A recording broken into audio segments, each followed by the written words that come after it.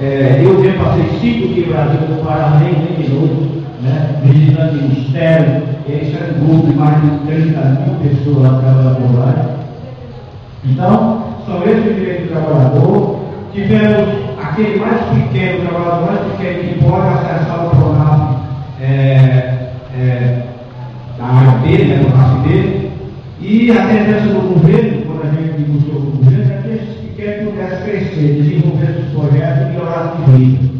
É que a gente estuda aqui é uma festa de cuidado muito que fez, né, quem se enquadra, quem não se enquadra, isso a gente tem essa essa luta, eu se enquadra, uma festa que pode ajudar, é ver quem pode se enquadrar, se mesmo, a gente está passa, né, alguns que passam especificamente, quer dizer, o cara é, as informações erradas, e pode passar, mas isso vai ser corrigido, se Deus quiser, agora.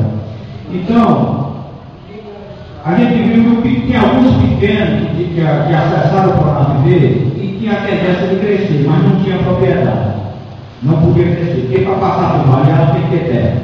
Também foi essa outra luta sobre o crédito de água. Que o trabalhador rural pudesse ter seu pedaço de terra. Porque existia a reforma agrária. E pelo menos na nossa região não dava certo, porque houve uma reforma agrária que foi solidária, porque foi a acordo do patrão, mas até hoje isso, a ocupação, está conflito, está outra.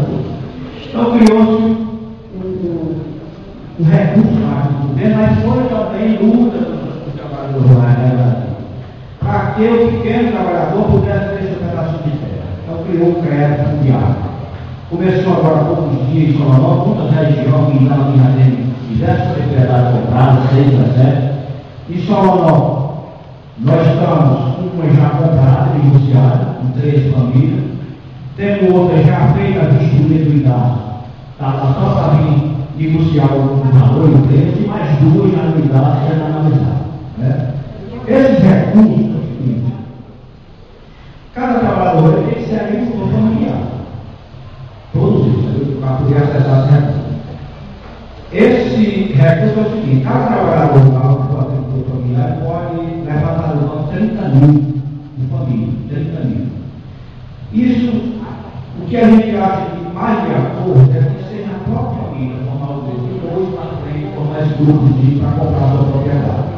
Que tem tudo para dar mais certo que está vendo lá de fora do outro lugar e nos entender. Então, no caso, essa, essa, você está aqui como exemplo essa propriedade foi comprada aqui. Ela foi comprada, essa propriedade aqui, ali no, no aqui no, no II, Pedro II.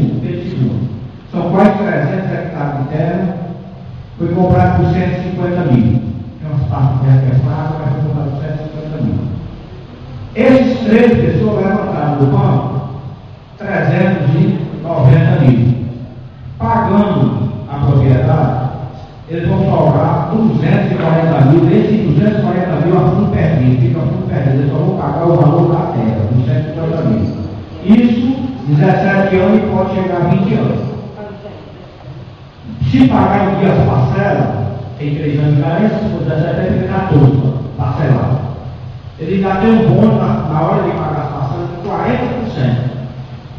Na hora de pagar. Quer dizer, vão pagar 90 mil para terminar de pagar essa propriedade de 150 mil. Então, esse aqui, para que era isso? Para que o pequeno agora, que só podia fazer o programa dele, agora ele já pode subir, porque a propriedade Ele pode fazer o variável se ele desenvolver o pequeno. Ele começou pequeno e cresceu. É como a gente quando ia estudar antigamente, ia pela casa da receita, primeiro ano ia crescendo. Então é a mesma forma, se ele pegou o primeiro projeto e cresceu um pouco a renda dele, geralmente é para crescer. Se você vai lá acessar, vai pedir uma data aqui, a trabalho, ele tem quase renda. Mas se ele fez um empréstimo, comprou uma vaca, comprou veio, ele já deve na outra vez, se ele aplicou bem esses recursos, ele já deve ter uma rendazinha melhor. E quando ele for para os dois ou três, ele deve estar uma renda maior se ele o projeto. Então ele já vai passar por um variável grátis. Eu não sei se é porque ele já viajou para Fortaleza do carro e está sem transporte aí. Lá vai estar presente o representante do governo federal, o Nelson Martins, que é da SDA, representante da SDA, e o Camilo Santana. E a gente ia ver com ele, dizer, são direitos dos trabalhadores, é, sobre o CONAB, é, a CONAB, a compra do milho.